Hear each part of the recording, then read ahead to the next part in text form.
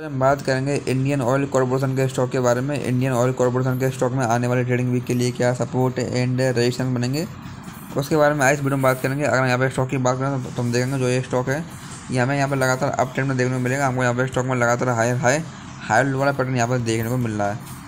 आज हमको यहाँ पर स्टॉक में three point two five percent की अच्छी तेज़ी देखने को मिली। इस तेज़ी के साथ ही हमको यहाँ पर स्टॉक में एक अच्छा ब्रेकआउट देखने को मिला है। जो ये स्टॉक है, ये पिछले कुछ समय से ninety six point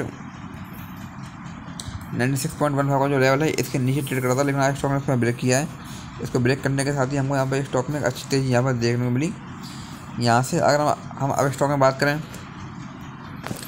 तो यहाँ से अब हमारे स्टॉक में वन हंड्रेड का जो लेवल है, ये ऐसा नेक्स्ट सजेशन यहाँ पर काम करेगा। अगर स्टॉक यहाँ पर इसको ब्रेक करता है, इसके बाद हमको स्टॉक में हंड्रेड एंड टेन इसके बाद हंड्रेड एंड ट्वेंटी फाइव और अगर स्टॉक ब्रेक को यहाँ ब्रेक करेगा तो हमको स्टॉक में वन हंड्रेड फोर्टी तक के लेवल्स यहाँ पर देखने को मिल जाएँगे, ऐसा रजिस्टेंस भाई यहाँ से अगर स्टॉक में गिरावट आती है तो गिरावट की कंडीशन में हमारे पास स्टॉक में ninety six point one five का जो लेवल है, ये अब ऐसा सपोर्ट यहाँ पर काम करेगा. अगर स्टॉक यहाँ पर इसको ब्रेक करेगा तो ninety three point seven zero और इसके बाद हमारे पास स्टॉक में एटी नाइन तक के लेवल्स फिर हमको स्टॉक में ऐसा नेक्स्ट सपोर्ट देखने को मिल जाएँगे. तो ये स्टॉक में कुछ important support and resistance level हैं.